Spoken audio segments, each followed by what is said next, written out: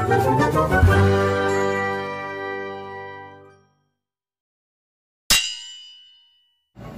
morning, good morning, good morning. It's me, Sir Jesse S. Narciso, a college instructor of Ramon Magsaysay Memorial Colleges.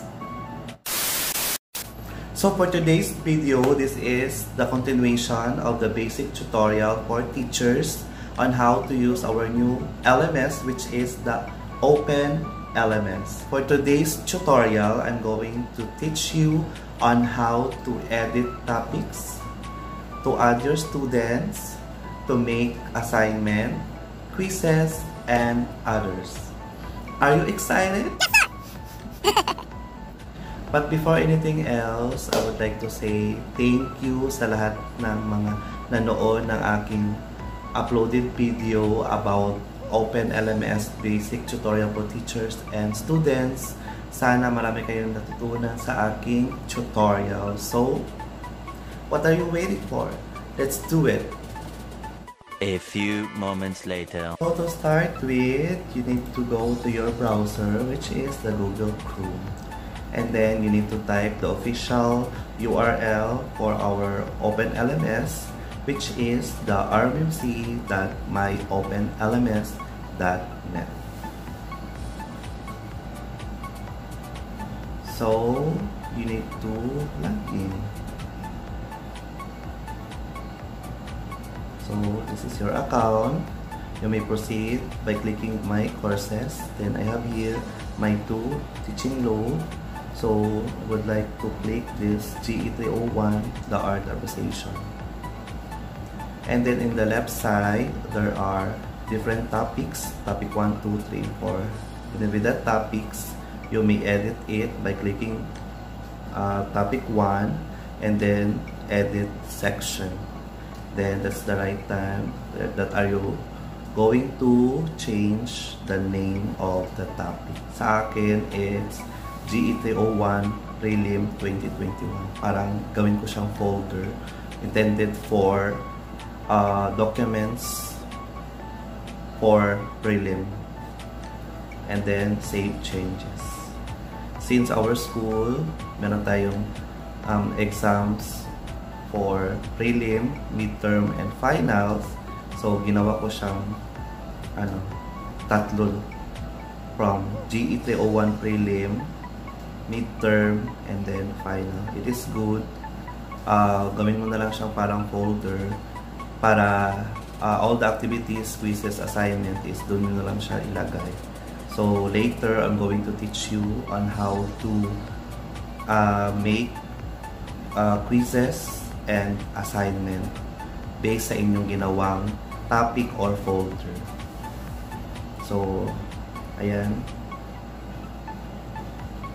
We are we are in topic 3 na which is the our for me ginawa ko siyang for final, intended for final. So, GE301 final 2021 and then yung summary or descriptions all for finals and then click save changes. So, I have here. Na-edit ko na siya. So, now, let's proceed now to how to add your student. By clicking course dashboard, click participants, and then in the upper right, may makikita kang ito pala yung uh, platform upon clicking the dashboard. So, in the upper right, may makikita kang enroll users. So, dyan mo siya i-add yung students mo. So, you need to search for the surname of the students. Make it sure na nandun siya sa list of students for your for that certain subject. So, kunwari ito sila is mga estudyante ko din. After searching, then click enroll users. So, ayan, may tatlo na akong students na na-add sa aking subject. Next topic would be the attachment of PPT, make quizzes, and make an assignment. So now, I'm going to teach you on how to attach your PowerPoint. So you need to click this and make it sure that you're going to open your folder na andun yung PowerPoint na ilalagay mo. All you need to do is to drag that PowerPoint to this area. malapit sa edit section. And then let's wait until ma-upload siya ng ating LMS. So, uploaded na siya. So, we need to edit yung title by clicking this pen. And we need to change the title or the name. So, I'm going to change it into first topic about art. And then for the appearance, there are many options. Pero yung i-click ko is yung automatic. And save and return to course. Ayan, we already uploaded our PowerPoint or other activities dito sa ating um, prelim na folder. Next, I'm going to teach you. So, ayan pala.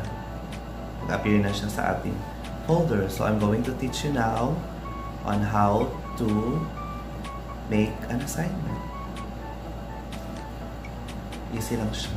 All you need to do is to add assignment name if it is your um, assignment number 1. So, pwede din siyang GE 301 assignment 1. Ayan. Sa description, dyan yung ilalagay yung question, your yung assignment. For example, sa akin is, what is art? Ayan.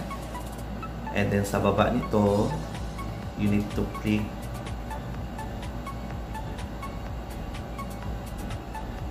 this one display description on course page para makita ng estudyante yung assignment. And then yung due date kung kailan ang due date. For example sa akin is 19 and then automatic naman siya yung at saka time din pala. Don't forget to place the time 1 p.m. and then yung availability automatic kung kailan ka nagawa ng assignment it's automatic yun ang mag-appear na din. The submission type it's file submission and others. Hindi ko na yun siya ginagawa yung iba dyan after that is you need to click save and display. Then let's see kung nag-appear na siya sa ating folder. Yung ating 3 GE301 assignment number 1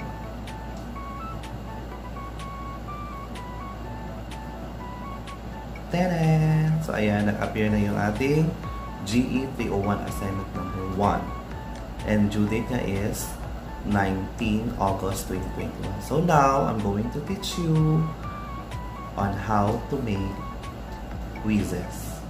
Again, you need to click um, learning activity, then find quiz. So, it will appear like this, yung quiz. So, again, you need to type um, name of or title of this quiz. Pwedeng 3, GE301 quiz number 1. Yung description naman is hindi yung question but then yung instruction. So, I have here na-prepare ko na siya. So, ika-copy paste ko na lang siya dito sa box. And click yung display description para makita ng estudyante and save and click the save and display. There you go. So, ayan. Andyan na siya. So, to proceed, you need to click edit quiz para mag-a-add ka na ng questions mo. And then, in the left side, na makikita kang add. So, you need to click add a new question. And then, I prepared a multiple choice. So, you need, we need to find the multiple choice na option and then click add. So, that's the right time na ilalagay na natin yung mga question natin for multiple choice. First is yung question name. Pwedeng ilagay nyo is question number 1, question number 2, and then if you like to uh, shuffle it, pwedeng question na lang in that uh, yung, huwag mo na ilagay yung number 1, number 2. And then, so yung sa question text, dito mo na siya ilagay yung first na item or question or statement. Ayan. And then, yung sa baba, general feedback mo na siyang ilagay, lagyan. And then, dito, you need to choose one answer only. And then, you have many options, choices sa ABCD. And then, yung choice 1, yung choices number 1, dyan mo siya ilagay. Then, never mind sa feedback. Then, proceed na kayo sa choice number 2. So, ayan. Diyan mo siya ilagay.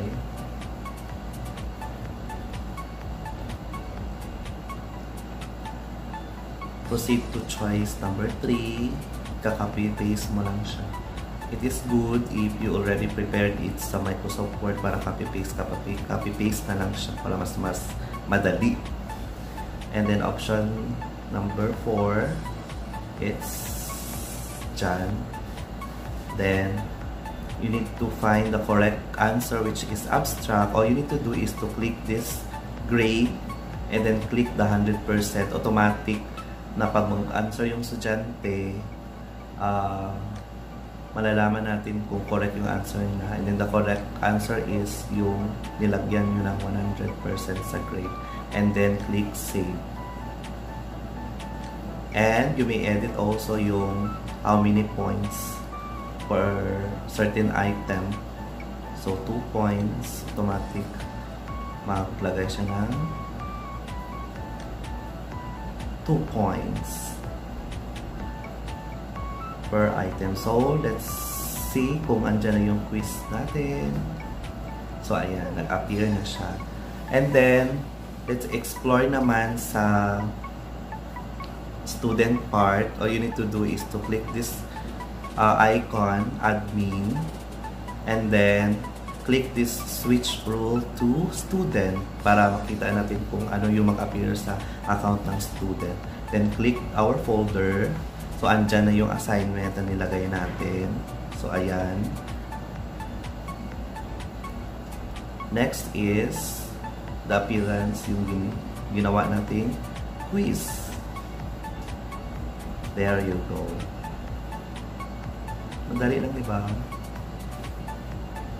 And then, to return to normal, you need to click again yung icon for admin and then change or switch to normal. There you have it! We're done, we're done, we're done. We're able to edit the topics and our students attach our PowerPoint presentation or PPT, make an assignment, and quiz. So, I think, madali lang ba? Comment down below kung madali lang. And please, guys, please, please, please don't forget to like, subscribe, and click the notification bell para updated ka sa aking videos. You like it? I like it. So, see you on my next tutorial. Bye-bye!